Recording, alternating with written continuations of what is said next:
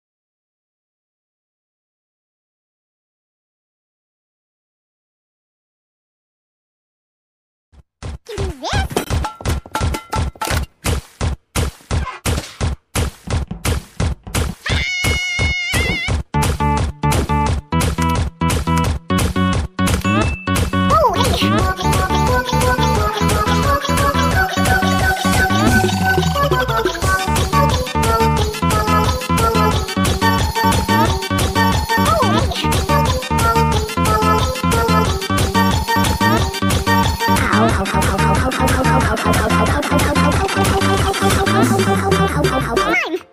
it supposed to blow, by the way? Or does that only happen when you levitate stuff? Well, actually...